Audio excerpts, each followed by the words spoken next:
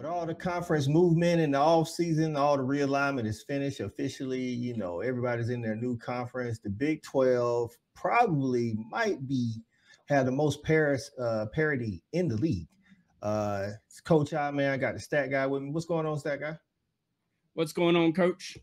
Hey man, we're here talking about Big 12 uh, football. We're talking Arizona Wildcats today, man. Do the Arizona Wildcats have a chance to win the Big 12? Let's get into yeah. it. The Fan Attic, where we keep it 100, keep it real. That's the only way we know how to be.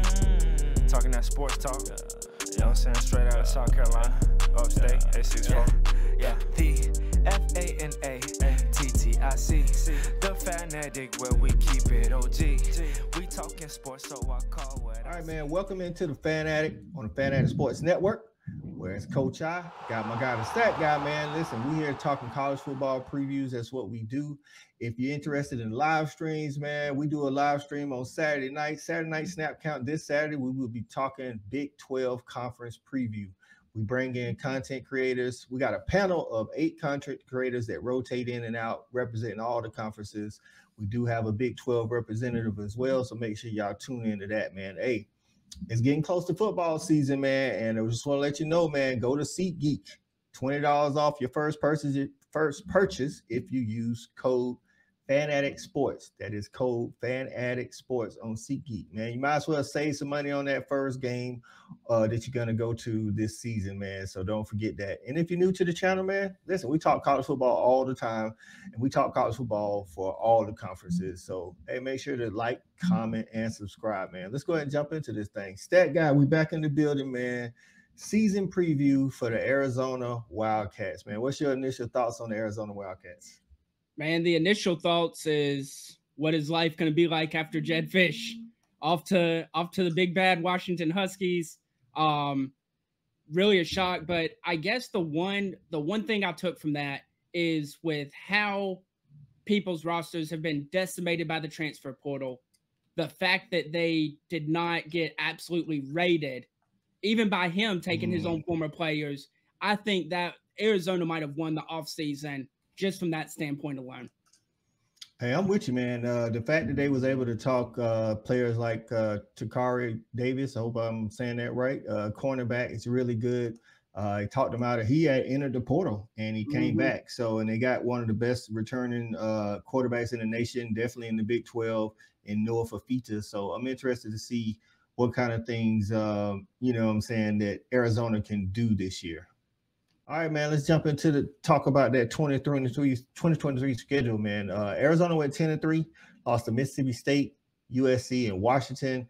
Listen, they finished on a seven game win streak, beating and then uh, beating OU in the Alamo Bowl. I know, you know, OU fans, calm down.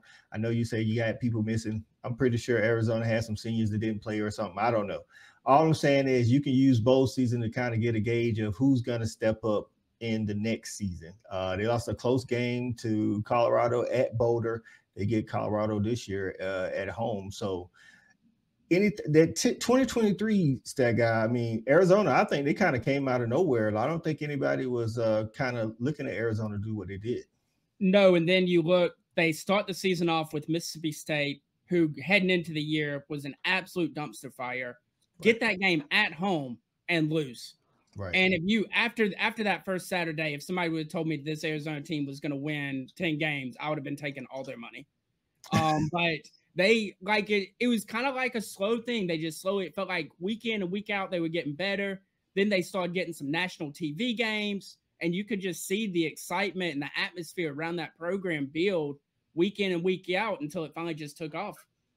Big facts, man. And they hey, they were actually playing a lot of hard-nosed football, man. I feel like uh Arizona at one point I was like, hey man, they had mathematically they had a shot to get to the, you know, the Pac-12 conference. I will say I think the Pac-12 conference uh last year with the, the quarterback play that they had, I feel like top to bottom, they had the deepest com- competition in inside within their league compared to other leagues where it's more like you know two or three teams that was at the top fighting for the spot but in the pac 12 arizona was one of those teams that's in the mix man so now let's look at the 2024 schedule man and uh, we can talk about so we'll, and then we'll talk about some returning players who could help uh, arizona this year Um, so let's look at the 2024 schedule. The 2024 schedule, man, listen, they get New Mexico at home, they get North Arizona at home, then they travel to K State.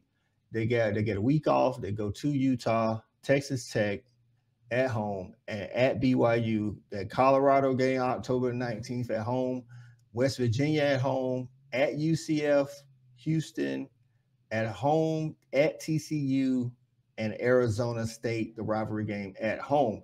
Now, those four uh, games that I got, stat guy, that at K State, at Utah, Colorado at home, and at UCF. I think those are going to be the toughest games on their schedule. Um, I agree with you. The first thing that jumps off the page to me is, man, you couldn't ask for two better bye weeks, right? right? You get a bye week in between two ranked games on the road and then you get a bye week after having to travel all the way across country to UCF. Like, man, the Big 12 was definitely looking out for Arizona when they were jotting this thing down. Big facts, man. And when it comes to the schedule and trying to win a conference title, make the playoffs and contend for national titles, I tell people, yeah, you got to have coaching, you got to have players and talent, but you also need the schedule. Sometimes you need the schedule to be in your favor. And I think out of the ones, some of the Big 12 teams this season that might be vying for the conference title and that playoff spot, because this year's 12 teams, man, don't forget that the winner of the Big 12, regardless of the record, goes to the playoffs. There's no more leaving the Big 12 out or anything like that. So I think at K State, that's one of the contenders. Utah at Utah, that's that's one of the contenders. I actually got Colorado as a you know somebody that might be a sleeper and could spoil some seasons and maybe even make it there. We'll see uh, when we take a look at in that video. But at UCF, like you say, that that that uh bye week coming off of UCF, that is going to be crucial because going to UCF is is uh, it's no joke. First of all, the distance itself, and then they got KJ Jefferson over there at UCF under Gus Malzahn, and uh, I think that's one of the games that to look forward to, man. So let's take a look at those returning players, man. Those returning players, who's going to help out the team stat guy with that schedule? Listen, again, Arizona's got a shot to make it to the the conference title, win it and possibly and like I say, possibly win it and be in the playoffs. Yeah, you you look, they're returning six starters on both sides of the ball. Um, you look at them returning 70% of the offensive production, 62% of the defensive production. Um, on offense, it starts with the best friend duo of Noah um Fifita.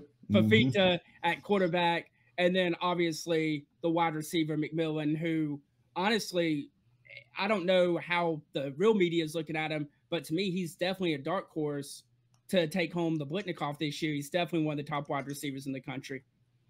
Big facts, man. And Noah Fifita, I think, uh, I think it's a clear cut. You know, you got top three, I would say, and maybe I, I don't want to leave anybody out, but in my mind, top three quarterbacks in the Big Twelve: Shedeur, Noah Fifita, and Cam Rising. If Cam Rising stays healthy, of course, you got Jalen um, what's his name? Jalon Daniels at uh, um, Kansas. Kansas. If he hasn't been able to finish the season, but if he can stay healthy, he's in that talks too. So having Noah Fifita man, for the Arizona Wildcats is definitely going to help.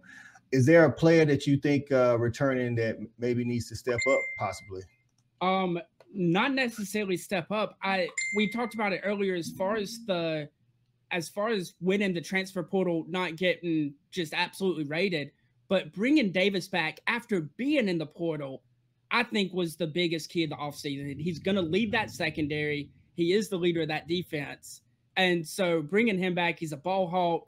I think that just kind of solidified that hey, we're we're about to compete for the Big 12 this year. Right. And you mentioned, listen, losing Jedd Fisch to Washington, they bring in the new coach and he coached at San Jose State, correct?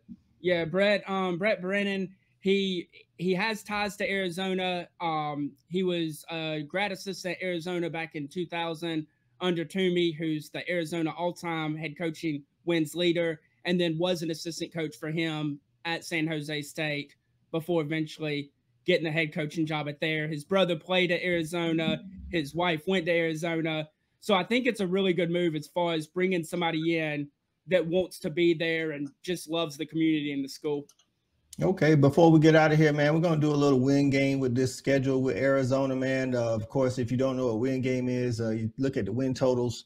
you go through, and I don't know what Vegas says right now, so uh, uh, I'm pretty sure it's already out there. So Arizona fans, let us know what you think uh, the, the floor is. How how what's what's the least amount of wins acceptable, and what the ceiling is. What you think this team is capable of.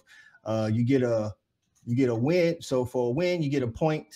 For for a toss up, you get half, and of course, if we think you lose, you get zero. So let's go ahead and take a look at that. New Mexico, Stat guy, uh, of course, I got that as a win. Win. North Arizona, I got win. Win. At K State, uh, because this is on the road, I'm gonna give them a toss up. I think K State is definitely gonna be one of those tough games as I got outlined right here. So I'm gonna give them a half right here. So I'm at two and a half. I'm giving them a half as well.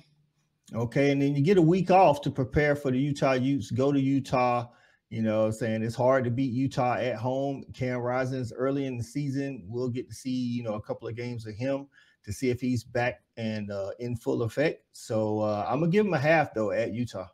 So I'm at three. And see, I'm actually giving them a half, and my reason is they've been there before. It's not like Kansas State where it'll be a new environment. They're both in the Pac-12 together, coming to the Big 12. Um, it'll be a familiar environment. Um, so I will give him a half, but depending on the Cam Rising situation. If he's not playing, Arizona should probably win that football game. But I'm at I'm, three. I'm I'm with you on that. So we're both at three. I got him winning, uh, beating Texas Tech, so that's four. Right there, win. I got him beating uh, BYU at BYU. That's five. See, I gave him a half there. There's just something about going to Provo. Just something about going to Provo scares me. Um, so I'm at four and a half. Okay, now going into the Colorado game this year, this this game last year was only a three point game. I know everybody remembers Colorado being four and eight, but this was a three point game. So Colorado, it was at Boulder though. Uh, they lost 31, 34, 31, if I'm not mistaken. I think this would be closer. Uh, you know, this is closer than you know people might think. Uh, we'll see how Colorado fares on the road in the Big 12. I'm gonna give uh, Arizona um, the win here because they're at home. So I'm at six.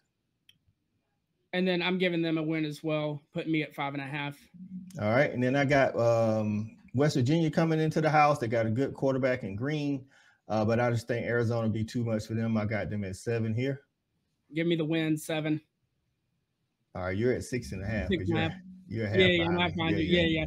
So uh, then they go to UCF. I got a half at this one. Uh, traveling all the way across country to UCF, I think Gus Malzahn is going to be able to do something with KJ Jefferson. So I got him at seven and a half here. Yeah, I do. I, I think UCF is going to be better and be able to compete and maybe play spoiler a little bit, but I think Arizona is just going to be too much. I'm giving them the full win at UCF. All right, so we're both at seven and a half and then they, they get a much needed week off after a six game stretch and then they take on houston at home. I think they'll just be too too uh, better than houston so i give them a win right here so i got them at eight and a half. Same. All right and then going to tcu i think they'll beat tcu there. I think they're just the better team so i got them at nine and a half. I got them winning that game as well. All right, and then finishing with the rivalry against Arizona State. Now, rivalry games, you never know what's going to happen. Uh, I'm gonna give him a half here just because it's the uh, rivalry game. So I think that puts me at 10 wins. And well, I I like to believe in the rivalry, but Arizona State's just not a good football team right now. I'm giving them the full win and giving them 10 and a half. All right, there you have it, man. We gave what we thought might happen. If uh, you're watching the video, you're Arizona fan, let us know what you think uh, the record might be. Check Vegas to see if we're close. I don't know. I'm pretty sure Vegas probably has Arizona at probably nine, nine and a half wins. I gave him 10. Stat guy gave him uh, 10 and a half. Don't forget to catch the Saturday night snap count live stream this Saturday at 9 p.m. Eastern time, where we'll have our content, other content creators join us and talk full Big 12 preview.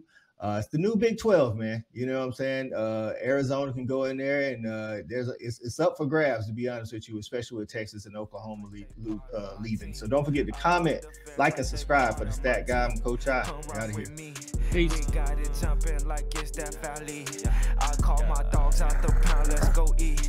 Turn on the fan at it, let's have a debate. Who really hold down the southeast from state to state? What team hungry gonna eat everything up off they plate?